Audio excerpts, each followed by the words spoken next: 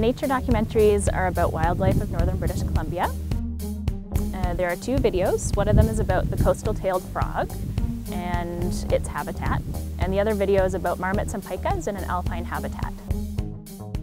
The first time the idea crossed my mind, I think, was when I was watching Planet Earth or Blue Planet, and I thought to myself, what if we could make a nature documentary and focus on northern British Columbia? And that got me thinking, and I thought, well, maybe we could do that.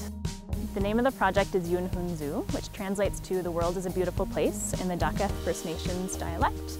There are a couple reasons why I chose that title. Uh, first of all, I think it really represents what this project is all about, which is acknowledging the importance and beauty of nature. And I think that kind of appreciation for the environment is a really important first step when it comes to making decisions that will uh, protect the well-being of the environment. Recognizing this connectivity is important as we face complex environmental challenges today.